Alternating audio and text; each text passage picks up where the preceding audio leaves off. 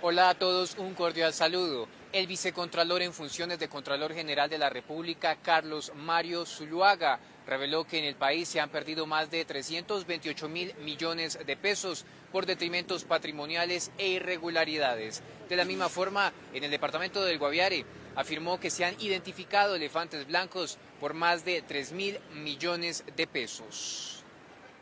En el departamento del Guaviare tenemos caracterizado como elefante blanco o proyectos críticos por un valor de 3.108 millones de pesos.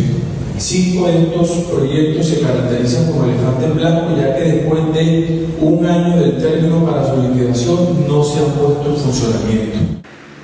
Por otro lado, anunció otra alarmante irregularidad que puso en peligro la vida de los niños y niñas de ese departamento por un proyecto de potabilización del agua.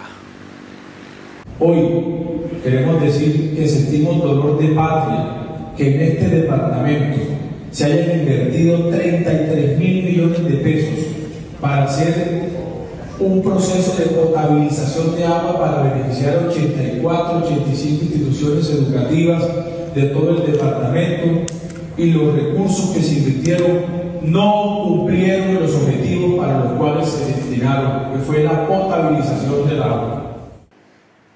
En este departamento la entidad alertó que hay más de 17 procesos de responsabilidad fiscal por un valor que supera los 21 mil millones de pesos, uno de estos por la asignación de subsidios de viviendas de interés social que no se ejecutaron.